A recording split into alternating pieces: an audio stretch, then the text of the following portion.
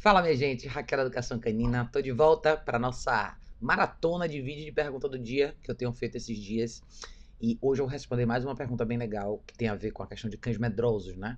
Como a gente faz esse condicionamento e como é que a gente mensura esse progresso, tá? Que eu acho que essa é a parte mais importante. Mas antes de falar da pergunta do dia, lembrem que os cursos desse ano estão chegando, tá? Gente, quem tiver interesse de fazer curso presencial, você e o seu cão, não deixe de ver as opções no site dos cursos, que é indogworkshops.com, tá?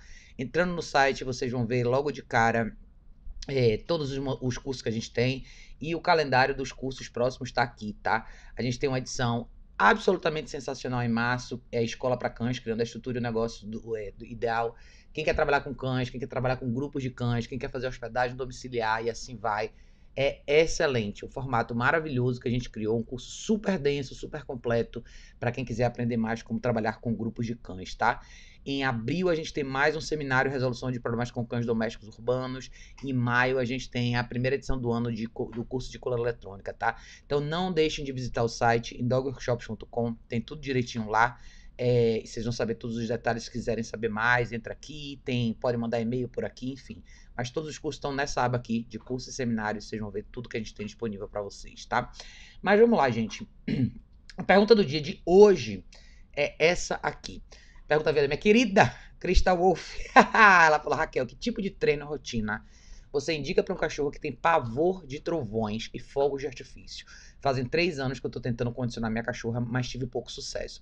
Antes ela gritava e agora ela apenas saliva muito e fica inquieta. Você tem algum vídeo que fala desse assunto? Vamos lá.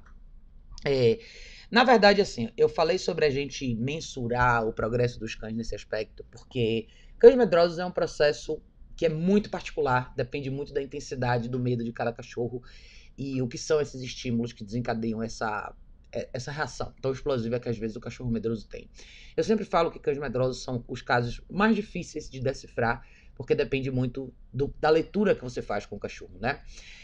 Em relação a fogos e trovões, é normal às vezes o cachorro não se sentir tão à vontade, tá? Você, na verdade, falou que progrediu pouco, mas eu acho que você progrediu muito. Considerando que você tinha uma cachorra que gritava e, e fazia tudo que você falou antes, e hoje ela só fica deitada salivando, isso é um super progresso, tá? O que, que eu faria no seu lugar? Eu sempre gosto de desconstruir a coisa, a questão do medo. Às vezes a gente foca muito no que é aquela situação específica que o cachorro tem medo e a gente tenta trabalhar só naquela, e isso não necessariamente está errado, mas isso não é o começo do processo. Eu acredito que você já pôs em prática uma série de coisas, porque eu sei que você acompanha meus vídeos aqui. E o que eu gosto muito de fazer com cães medrosos é, primeiro, criar uma referência do que fazer para depois a gente expor o cachorro a cenários gradativamente mais desafiadores. O que, é que eu quero dizer com isso? Eu vou dar um exemplo para vocês, que é o exemplo da Emma aqui. Quando a Emma chegou, ela provavelmente ela foi pega logo assim que ela, assim que ela nasceu e ficou na, sob custódia de uma pessoa. Então ela não foi exposta à rua, barulho, som, muita coisa que envolve uma rotina doméstica urbana. Então, as primeiras vezes que eu saí com ela na rua, eu tomei um susto de ver o, o, tamanho do pânico que ela tinha, de tudo, de gente vindo na direção dela, de barulho de carro, de moto e assim vai. O que, que eu fiz com ela? Eu dei um passo para trás e, vou, e comecei a trabalhar com ela na guia dentro de casa. O que, que isso faz para um cachorro medroso? Ele cria uma referência de como se comportar em movimento com alguém que está guiando ele. Então, eu introduzi a Prong Color para ela e foi uma ferramenta excelente porque ela é uma cachorra magrela, então a guia unificada foi muito complicado para ela por, pela pressão ser infinita, então a Prong Color foi muito mais efetiva e eventualmente eu entrei com a E-Color, mas o que que a gente, o que que eu comecei a fazer? Eu fui, eu criei a referência do caminhar comigo, me seguir, e até dentro da minha casa tinham coisas que ela não estava acostumada, tipo máquina de lavar, é, o barulho do ar condicionado, televisão. Então coisas que não necessariamente traziam uma reação mais explosiva para ela. Eu usei esses, esses pequenos estímulos como menores distrações, uma vez que ela entendeu o que ela tinha que fazer na guia, e eventualmente eu fui com ela para rua. Isso em três dias, né? No terceiro dia, não é que ela não tinha mais medo, mas ela hesitava, mas ela tinha já uma referência do que fazer numa situação similar. Claro que o estímulo era maior e ela só tinha que ser lembrada do que ela precisava fazer. Por isso que a ferramenta foi tão importante nessa hora, tá? No seu caso, é, essas situações de trovões e chuva acontecem quando o cachorro está dentro de casa e normalmente não está em movimento. Então, como que a gente normalmente progride nesse aspecto, né? Você trabalha o cachorro para que ele tolere as coisas sem se mover, sem sair do lugar. E acho que até aí você já chegou, tá? Que é quando a gente fala muito do exercício do place, como o exercício do place serve muito como referência para uma série de cães diferentes e comportamentos diferentes, quando você quer literalmente que o cachorro encontre esse centro, esse lugar, esse momento de descanso, sabendo que ali ele não precisa se preocupar. Porém, você agora tem uma cachorra que ainda saliva bastante, tá? A pergunta é: essas reações, quando você tem um cachorro medroso numa situação, normalmente significa que esse medo ainda surge aqui e ali em outras situações, talvez em menor escala. O que, que é o segredo de um cachorro como o seu? É esse trabalho com longuíssimas durações. Por que, que a longuíssima duração é importante com ela no exercício como place, por exemplo? Porque esse é um exercício que não é só o cachorro ir para o place e deitar é você atingir o de 100 a 0, né? Em vez de 0 a 100, é de 100 a 0, considerando 100 o maior nível de, de, de, de perturbação que o cachorro está naquele momento de alerta, de medo, seja o que for, até o zero. Isso demora bastante, tá? Então, uma vez que você chegue nisso, fica mais fácil para o cachorro encontrar essa referência. Outra coisa importante é o trabalho com a caixa de transporte, tá? Quando a gente fala de trovões e chuva, coisa muito barulho muito forte, tá? Muitos cães medrosos, a maioria na realidade dos cães medrosos tem absoluta, abs, absoluta facilidade em se adaptar na caixa de transporte porque eles buscam esse refúgio de qualquer maneira. E a caixa de transporte acaba sendo esse lugar mais confortável para eles numa situação como essa, tá? O que eu gosto de fazer com cães que têm muito medo de chuva, eu proporciono esse lugar de descanso, considerando que eu vou estar em casa, tá? Se eu tiver em qualquer outra situação, claro, eu tenho que contar com o exercício do place mesmo, em algum lugar que eu esteja, mas normalmente falando, numa situação como essa, a gente normalmente está em um lugar abrigado. Então, eu trabalharia bastante a questão da caixa de transporte com ela, tá? Porque olha só, tem gente que vai falar para você assim: ah, associe o trovão com coisas boas. Isso não funciona enquanto o cachorro não chega no zero. Porque numa situação como essa, o cachorro não vai pegar nem um filé mignon na sua mão. Isso aí qualquer pessoa pode comprovar, é só fazer. Não precisa acreditar em mim, só precisa fazer. Para você começar a criar uma associação positiva, o cachorro tem que chegar no neutro primeiro, para depois ele reconstruir, tá? Então é muito de experimentar essa sensação, de praticar essa sensação diferente com ela. Você pode fazer as duas coisas. Do que que eu, Raquel, faria? Como o trovão não é uma coisa que a gente pode recriar o tempo inteiro, e você pode até usar vídeos e sons que você encontra no YouTube, assim vai, mas o trovão de verdade ele tem um cheiro, a por causa da chuva e toda aquela coisa. Então, você vai chegar numa coisa próxima, mas não necessariamente ideal. Você pode fazer isso? Pode. É válido, hiper válido. Vale muito a pena fazer esse teste, tá? Mas eu traria essa cachorra para situações diferentes também. Situações da vida real. Então, eu não sei se aonde você tá, você tem a oportunidade de levar ela para lugares diferentes, lugares com mais sons e com mais movimento. Tipo, um café, um lugar de tomar açaí, um restaurante, um lugar mais movimentado, uma sorveteria. Coisas que às vezes em bairros você encontra que você pode sentar no banquinho com a sua cachorra.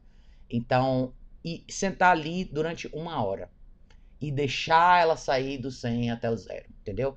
Experimentar essas situações diferentes fazem tem um impacto grande na hora que o cachorro realmente tem que enfrentar um desafio. Eu vou dar um exemplo até para você que aconteceu essa semana. Esses últimos dois dias, tá fazendo muito calor aqui em São Paulo e aí de vez em quando você tem umas pancadas de chuva. Essas pancadas de chuva vêm com trovões altíssimos, coisas assim que dói no seu ouvido. E esses dias aconteceu aqui, e aconteceu justamente no momento que eu estava em casa, fazendo um treino normal que eu faço com a, com a Emma dentro de casa, com a guia, e, e assim vai, com a e-collar, assim vai e o trovão estourou. Na hora que o trovão estourou, ela tomou um susto. Você vê que ela fez assim e a sensação imediata dela era tipo sair correndo e procurar algum lugar para se esconder. Como eu estava com ela na guia, eu simplesmente não deixei ela sair da situação. Porque ela não estava exposta a nada necessariamente, ela estava dentro de casa comigo. Então eu simplesmente mantive ela do meu lado e pedi para ela deitar. E continuei o treino com ela, como se aquilo ali fora não estivesse acontecendo, que era uma coisa simples. Eu tava só treinando o recall com ela, dela voltar para mim. Então eu botava ela deitada aqui numa, num, num, pedaço da sala, ia até o fundo do corredor, chamava ela de volta e assim vai e voltava e voltava e voltava. Então, o, a, a, sensação inicial do cachorro é de pânico. Claro que a diferença da Emma para sua cachorra é a Emma é jovem ainda. Então ela tá descobrindo essas coisas. Ela tá com nove meses.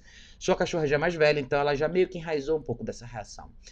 Mas eu trabalharia muito isso a etapa antes, né, se a gente pensasse em referência, a etapa antes seria expor ela com duração a cenários mais desafiadores, sejam eles quais forem, tá?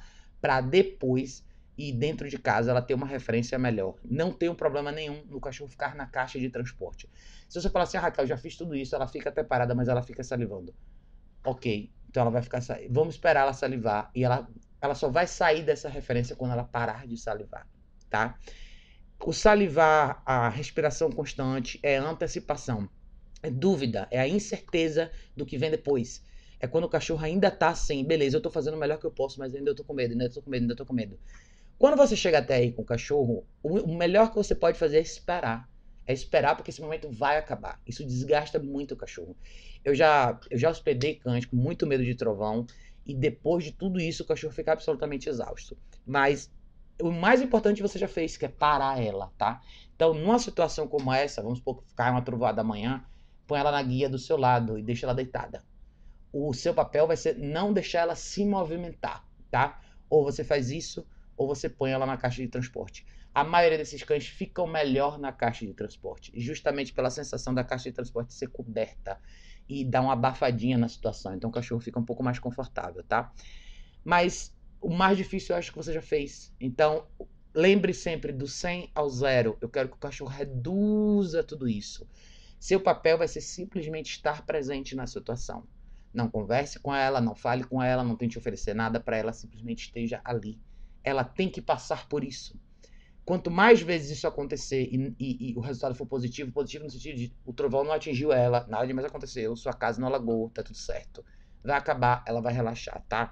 Facilita você ter uma, uma acústica legal? Facilita. Facilita você estar num quarto fechar para o, o, barulho ficar menor? Facilita, mas o cachorro escuta muito mais do que a gente. Então, a real é, ele tem que aprender a lidar com isso. Ela, no seu caso, né? Tem que aprender a lidar com isso. É prática e tempo. Mas não foque só na, no trovão. Foque em novos desafios. Quando a gente fala de construção de confiança para um cachorro, é justamente desafiar o cachorro em cenários diferentes. Quanto mais cenários novos você expor o cachorro com segurança, sabendo advogar por ele, mais fácil a vida urbana vai ficar para ele, tá? Então, eu levaria ela em uma série de lugares diferentes. Todas as possibilidades que você tiver de expor ela. Por exemplo, shopping é um lugar que eu gosto muito de ir com o cachorro. Por quê? Porque o shopping, talvez, de todos os lugares, pet friendly é o lugar mais seguro. Porque dentro do shopping você nunca vai encontrar nenhum cachorro solto. E as pessoas normalmente estão entretidas com outras coisas. Então, você tem o melhor cenário de distração, que é quando tudo está acontecendo ao redor do cachorro, mas você tem muito mais controle sobre o ambiente do que em qualquer outro lugar. E o shopping tem tanta coisa que deixa um cachorro assustado às vezes, que é o piso diferente, mais liso, barulhos, lojas de comida, de perfume, cheiros diferentes. Então, você tem mais chances de explorar isso um pouco mais. E eu tenho certeza que tem camadas, como todos os cachorros têm camadas de medo, né? E essas coisas vão facilitar. É ótimo a gente fazer muito exercício em casa, eu falo para vocês fazerem direto. Mas levar o cachorro para experimentar o mundo real faz toda a diferença. Por isso que eu até fiz uma postagem hoje no Instagram falando que o mundo é o seu centro de treinamento, né? Quanto mais você expor o cachorro, mais você desenvolve ele numa situação como essa. Então, eu iria mais ou menos por esse caminho, tá? Tenha certeza que você tem a caixa de transporte, porque nem sempre você vai poder estar perto dela. E trabalhe muito na questão da duração. Muito. Do 100 ao zero. Isso que vai fazer toda a diferença para você. E explore. Explore o mundo ao seu redor. Lugares diferentes. Faça esse trabalho um pouco mais individual com ela até você ver realmente o olhar dela deixar de ser o olhar de antecipação, incerteza, para simplesmente ser um olhar de observação, que é tudo que a gente quer. Tá bom, querida? Se você quiser me dar mais detalhe, como sempre, fica à vontade para deixar aqui nos comentários. E para todos vocês que têm situações similares, fiquem à vontade também para a gente bater um papo aqui nos comentários e falar um pouquinho mais sobre esse assunto. Tá bom, pessoal? Beijo enorme. A gente se vê em breve no próximo vídeo.